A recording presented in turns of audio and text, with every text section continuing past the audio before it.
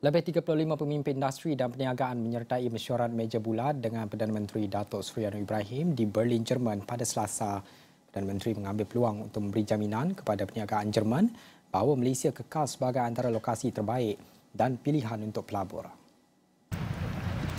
Syarikat daripada ekonomi terbesar dunia itu yang hadir pada sesi tersebut terlibat dalam sektor seperti tenaga, peranti perubatan, semikonduktor,